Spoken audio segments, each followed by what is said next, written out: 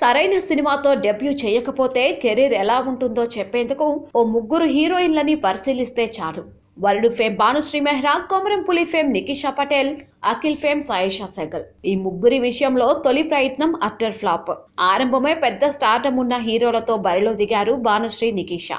కానీ ఆ సినిమాలు తీవ్రంగా నిరాశపరుస్తూ బాక్సాఫీస్ వద్ద డిజాస్టర్లుగా నిలవడంతో ఆ దురదృష్టం ఈ భామల్ని వెంటాడింది. ఇప్పటికీ సదరు హీరోయిన్లు కెరీర్ పోరాటం సాగిస్తూనే ఉన్నారు. ఇక ఎన్నో ఆశలతో అఖిల్ లాంటి విజువల్ బ్రిలియన్సీ ఉన్న హీరో సరసన నటించింది ముంబై గాల్ సయేషా సైగల్ కానీ తొలి అడుగు సరిగా కుదరలేదు.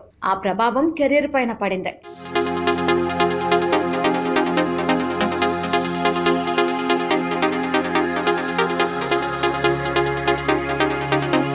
సాయిషా నటించిన అఖిల్ చిత్రం ఫెయిల్ అయ్యాక టాలీవుడ్ వైపు చూసిందే లేదు.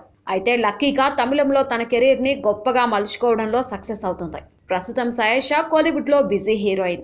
అక్కడ తన కెరీర్ షైన్ అవుతున్న తీరుపై అప్రిసియేషన్స్ వస్తున్నాయి. ఆ క్రమంలోనే ఈ భామ క్రేజీగా పలు బ్రాండ్లకు ప్రచారకర్తగా అవకాశాలు అందుకుంటోంది.